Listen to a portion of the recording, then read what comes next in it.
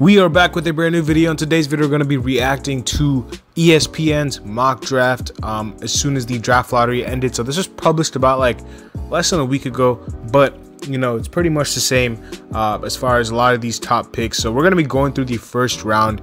Um, the second round kind of gets, you know, a little bit of uh, it's, it's, it's not really um, that solidified with some prospects in the second round. So we're just going to keep it light with the first round for now.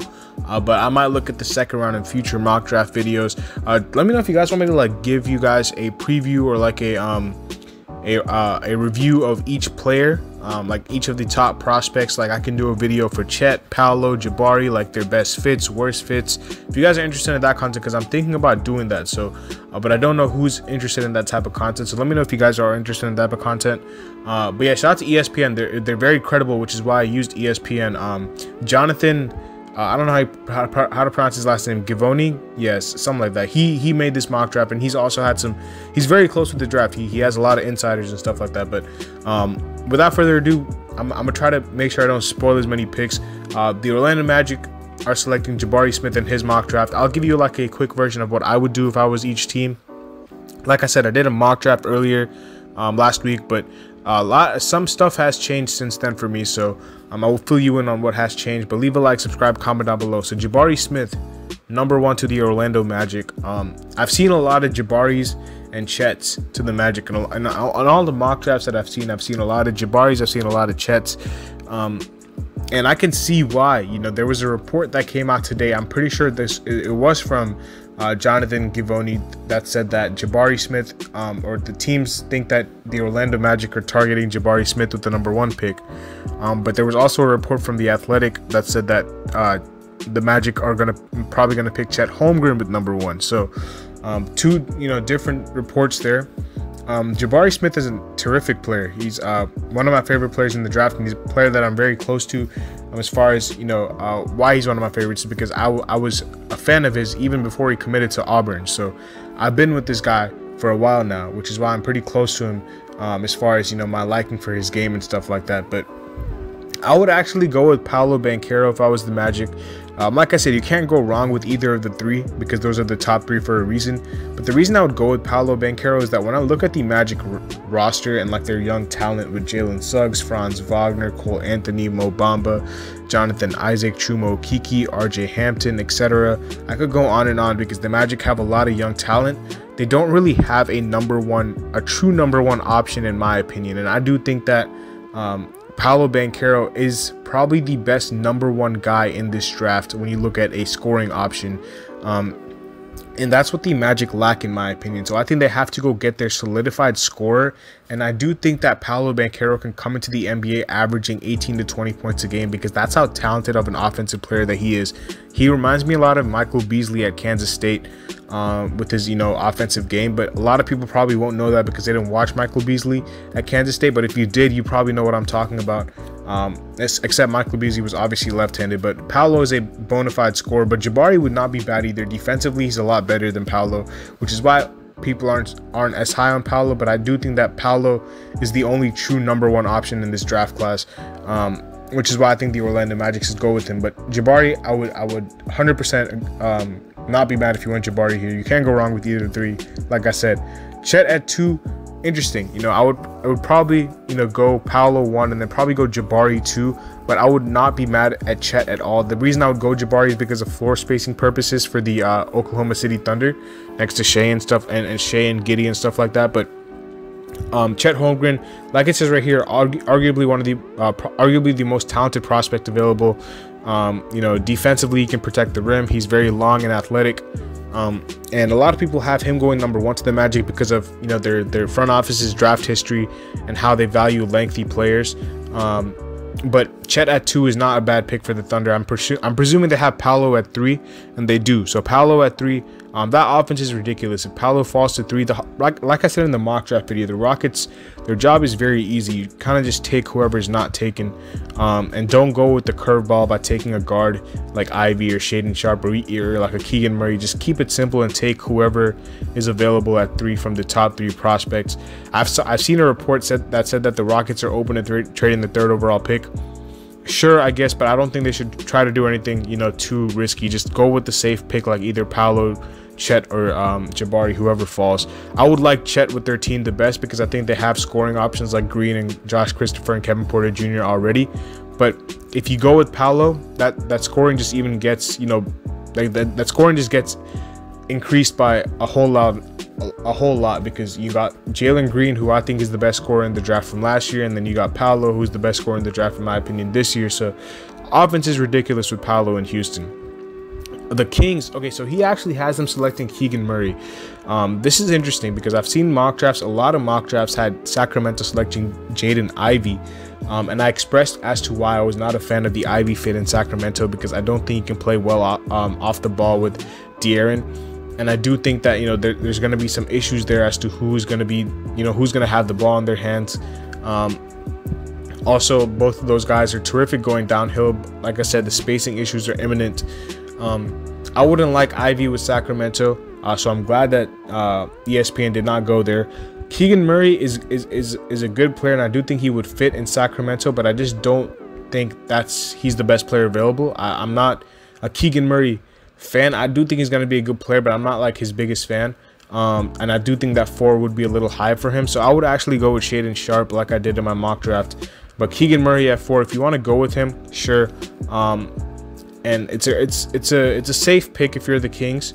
But I think the Kings need to, you know, find a gem like a Shaedon Sharp who can be one of the best shot creators in this draft, and who I think is, can play really well alongside De'Aaron Fox. Um, I think Keegan Murray is, is kind of locked on that he might go number six because I think Detroit is taking either Sharp or Ivey, whoever whoever Sacramento does not take, and they have him taking Ivey. I had Ivey going to Detroit in my mock draft too, so um, yeah, um, Jaden Ivey to Detroit, I think is a like a like a big W because I think Cade um, and him can really share the floor a lot better than him and Fox. Uh, you can have Cade play off the ball. You can have him play on the ball. Killian Hayes come off the bench, lead that second unit. You have your backcourt for the future set right there. I like to Detroit. I think that's that that, that should be locked in uh, for like a uh, a no-brainer pick for the Pistons if he falls, um, which I think he will because I don't the Kings might be dumb and take Ivey. Um, like I said, I'm not I'm not an Ivey hater. I, I don't hate Ivey. Ivey's one of my favorite players, but just don't like the fit with Sacramento. So um, yeah, they have the Pacers taking Shaedon Sharp. I think these are like the consensus four, five, six. You know, whatever order. I don't I don't really know what order you take them in, um, but those are the consensus four, five, six.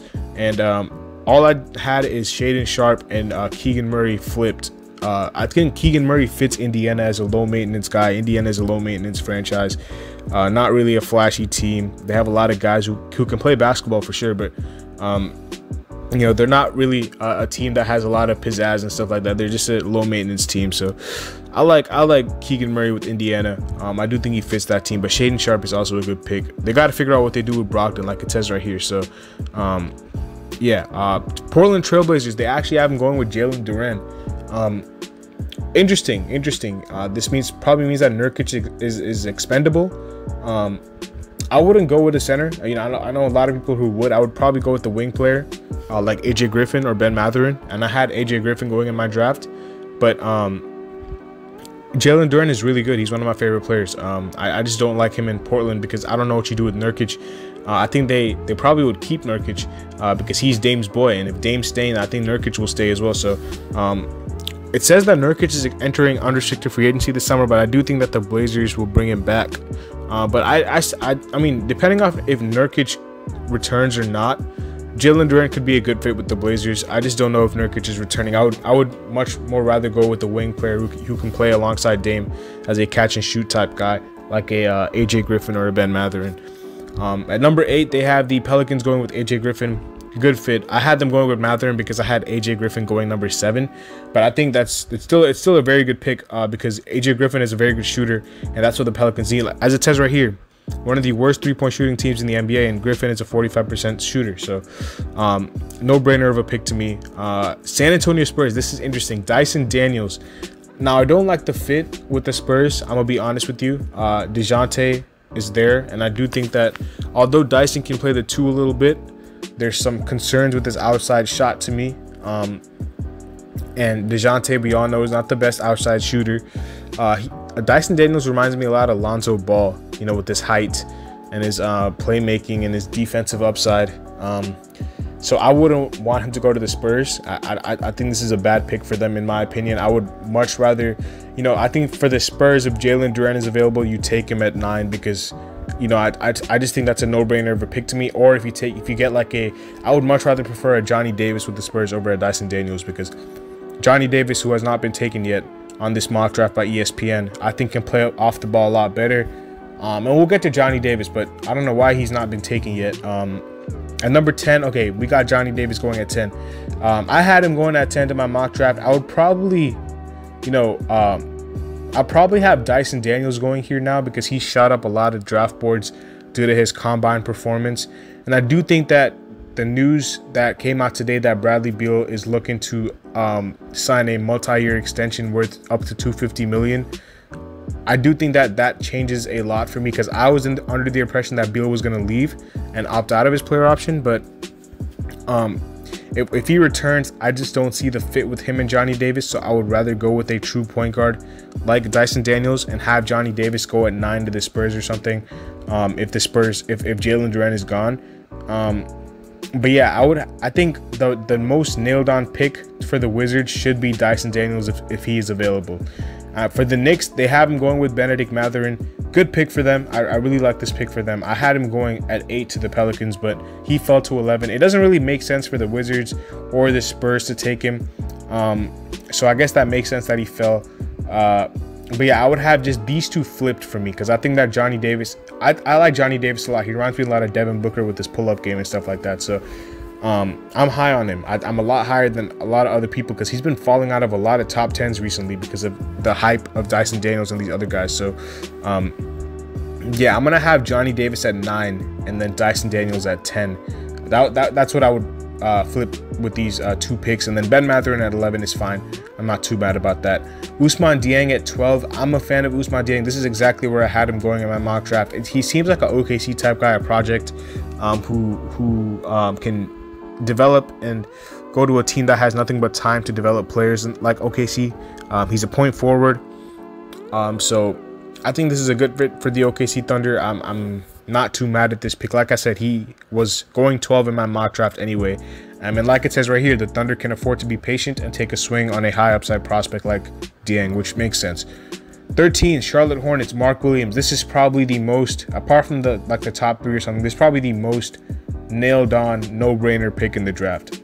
Like, if the Hornets screw this up, I have nothing more to say about the Hornets. Like, like it would be very, it'd be very disappointing if they do not take Mark Williams if he's available. Because, and I don't see why he wouldn't be available. I don't think the Thunder, if they draft a big at number one, or I mean at number two, they're not taking a center. Um, I don't think the Knicks, the Knicks might take Jalen Duren if he's available um, if he falls, but I don't think they're going to take Mark Williams that high. And then same with anyone in the top 10. So he should be available at 11, I mean, at 13. And the Hornets just have to take him, man. It's just a no brainer. Um, you know, he's uh, he's he's very familiar with that area, as it says right here. He went to school at Duke. So, um, yeah, this is a no brainer to me. Mark Williams at 13. Uh, 14, they have the Cavaliers taking Malaki Branham, hometown kid. I, I mean, I'm not mad at this pick. I had them going with Ochai Agbaji uh, who I think is a much better off the ball player for them. But Malaki Branham, I'm not mad at at all. He's a guy that can take up the pressure off of Darius Garland at times. I just thought that they have some guys who can do that already as shot creators like Caris LeVert and Collin Sexton. Um, I guess they're saying that Collin Sexton might be available um, as a trade piece, so you might need another guy to fill that void. But I, I would much rather have a excellent catch and shoot prospect uh, and 3 and D prospect like Ochai Agbaji going to a playoff pushing Cleveland. Um, and Ochai Agbaji's a veteran. He's a senior. He's a four-year player. He knows his role. He's not going to do too much. That's why I would have him go 14. But I'm not mad at Malaki Branham at all.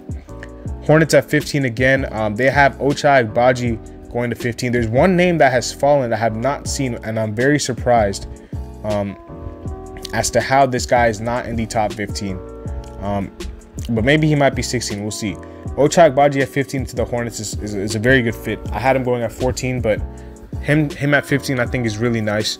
Um, you know, another guy who can, like I said, a 3 and D prospect who can be a catch and shoot player next to LaMelo Ball in that, you know, fast-paced Hornets system.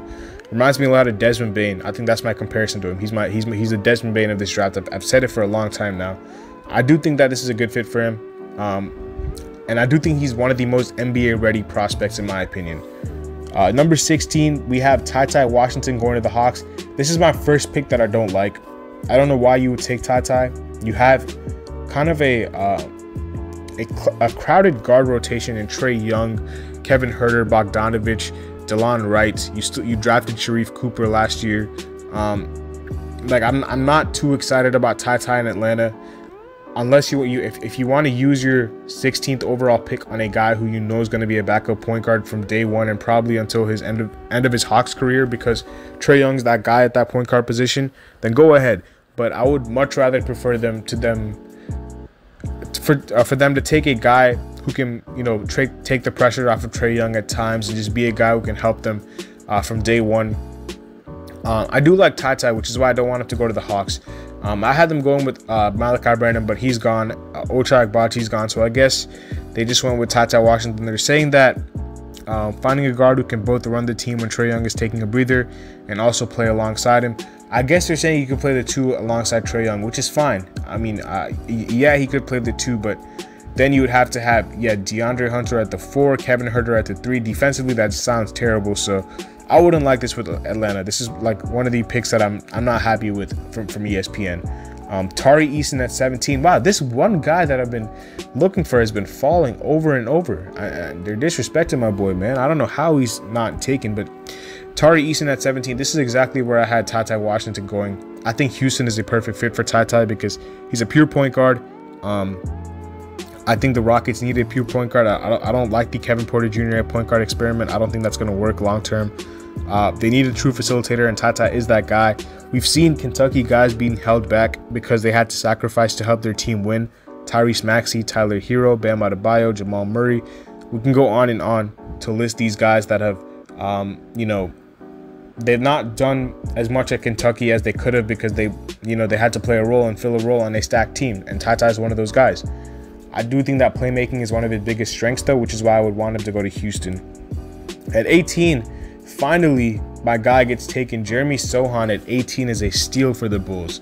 Like this is a big time steal. You know, take take Jeremy Sochan at 18. You know, you you guys win the draft with Sochan at 18. This is a guy that I think could potentially go back in the top 10 if if if a team wants him that high, or you know, early. Um, like back end of the lottery is what I think Jeremy Sochan will go at 18 is a big time steal, man. Like the Chicago Bulls, like they they win the draft with this. They, they really really do, in my opinion. Um, I'm a, I'm a huge fan of Sochan's. Um, I do think that he's uh, he's gonna be a very good player. Um, he's a, he's a he's a point forward.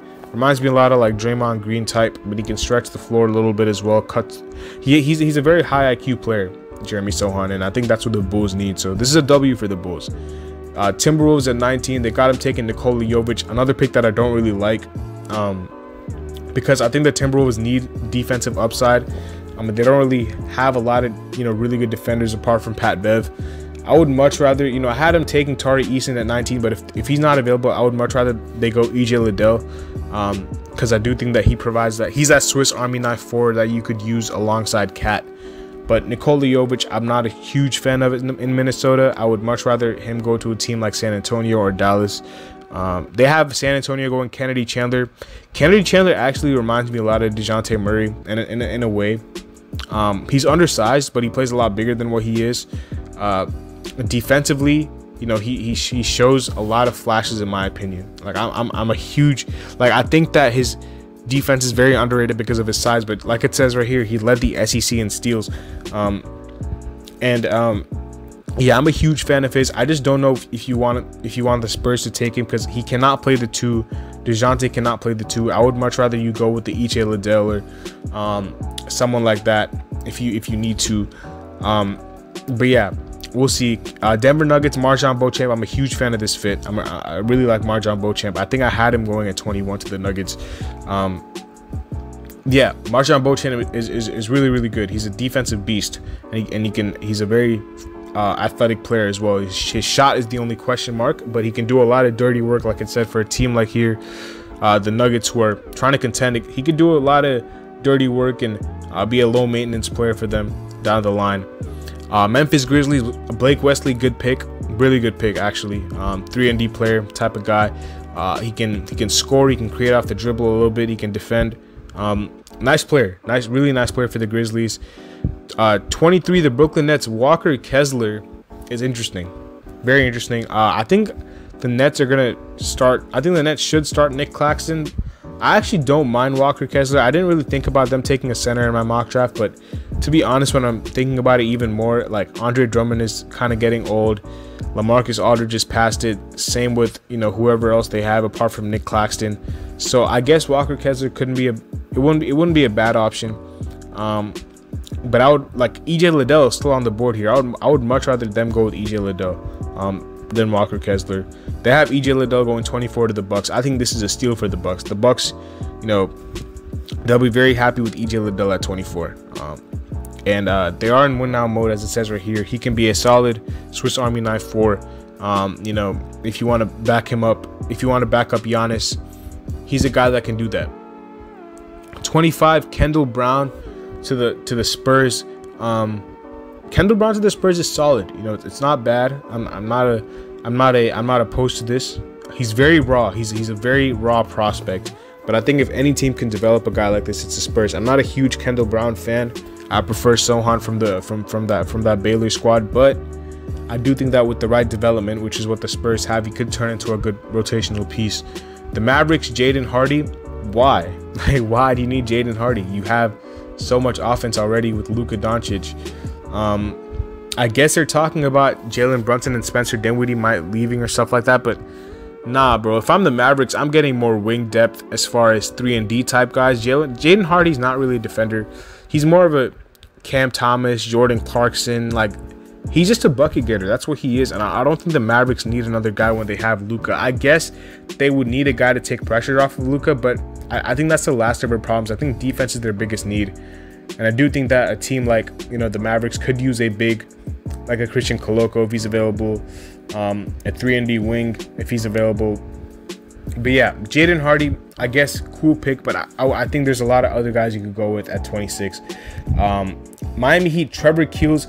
This is a little bit of a reach for me. The Heat are my team, obviously, but Trevor Keels is a Heat type player, man. He's he's a, he's a guy that the Heat would love because of his toughness and defense and um, unselfishness. Unselfishness. I don't know why I just pronounced that word terribly, uh, but Trevor Keels is a Heat type player for sure. Uh, I just don't know if the Heat are gonna take him at 27. Um, but yeah, I have nothing but positive stuff to say about Trevor Keels. He's a he's a very good prospect in my opinion. Um, and he is one of the youngest pro prospects in the draft as well. Reminds me a lot of Marcus Smart. Uh, 28, Christian Braun, good pick for the uh, Golden State Warriors. Very good pick for the Golden State Warriors. Uh, Swiss Army knife, plug and play type wing player, like it says right here. Um, yeah, good pick for the Warriors. Memphis Grizzlies, Bryce McGowens at 29, steal in my opinion. I think he's going to go a lot higher than 29 in the actual draft. Um, they, the, the Memphis Grizzlies are going to have uh, quite a few picks here. I think they're going to have uh, two back end and they have a very deep team already, so they might want to trade out of one of these picks, but we'll see. On the Thunder, who have three picks, Caleb Houstan, this is exactly where I had him going. I had him going at, at 30 to the Thunder. Um, good pick for them. He's he's a guy. No, actually, I had Patrick Baldwin Jr. I messed up. I, I didn't have Caleb Houstan. Caleb Houstan at 30 is kind of high, bro. Like Patrick Baldwin Jr. not in the first round is very, very intriguing to me. Um, I don't know if I would take Caleb Houstan this high. I would I would take Patrick Baldwin Jr. over Caleb Houstan if I'm OKC. Um, some guys that fell, I, am I'm, I'm, I'm, surprised that my guy did not go. I mean, he just started generating some buzz. PBJ goes 31. David Roddy, where's my guy? Where's my guy? Ismael Kamagate is one of my guys. He's he's very underrated. Um, wow, I cannot even find my guy. Christian Koloko, Justin Lewis, Jalen Williams, bro. Jalen Williams, this guy right here, I'm highlighting him so you guys can see. He is going to be the biggest deal of the draft. I don't know who's going to select him where. I don't know if he's going to go first round, second round. He's been a riser at the combine, but I've watched this guy all season. He is a stud. He he, he reminds me a lot of Paul Pierce um, and Joe Johnson because they play at their own pace. He's not like a fast-paced player, but the thing about him is that nothing can really speed him up. He can score at all three levels. He can defend, this guy right here, if he goes to the Clippers at 43, bro, the seal of the draft for sure. Like not even close. He is a bona fide first round type, type prospect. um, and I think he's gonna be a stud. So Jalen Williams, like I would, I would, I would consider him going to the first round if I'm the Mavericks. If you want it, if you're the Mavericks and you have to pick between Jaden Hardy and Jalen Williams, um, per, uh, specifically for the defensive purposes, I would go with Jalen Williams over Jaden Hardy. That's how high I value this guy, and I love Jaden Hardy. He's one of my favorite prospects with, because of his scoring, but Jalen Williams is different, man. I think he's going to be a stud. Um, some more uh, steals right here. G- Jean Montero at 44, I think, is a steal. Um, JD Davison is has dropped, man. He's he's been he was a guy that went very high, but he dropped. Uh, Trevion Williams, I like. Um, Ga- Ga- Gabriel Procida, I really like. Um, international player from Italy. Alondes Williams, uh, Peyton Watson, Harrison Ingram was a guy who generated first round buzz earlier. Um, obviously, there's only 58 picks because of the Heat and the uh, Bulls forfeiting their picks because of uh, tampering issues. Uh, Christian Koloko, I was talking about him. Jake LaRavia could go first round. Dalen Terry has been rising. Um, uh, Wendell Moore, Ismael Kamagate, Terquavion Smith. These these like four right here, or these three like in particular, could go first round because they've been generating a lot of buzz. PBJ, David Roddy, and Terquavion Smith. But um, yeah, man, that's basically we're gonna wrap up the video. Hopefully, you guys enjoyed it. Uh, let me know who you want your favorite team to select. Um, I'm very interested. I'm, I'm super happy that the it's, it's almost draft season because draft season is my favorite part of the, the NBA. I, I love college basketball and the NBA draft. So yeah, we're gonna wrap up the video here. Make sure you guys drop a like, subscribe, comment down below. I'll see you later as always. Peace.